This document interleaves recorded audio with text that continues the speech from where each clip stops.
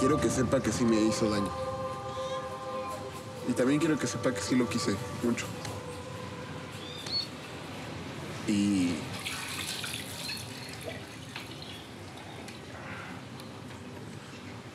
Y también quiero que sepa que no lo voy a perdonar nunca.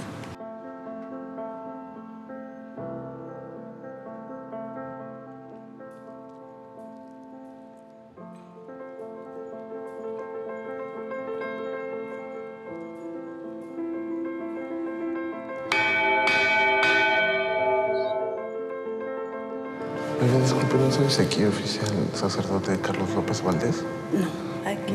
¿No lo conoce? No, no lo conozco. Bueno. Entonces, ¿cuál es el problema? ¿Por qué lo están ocultando o protegiendo?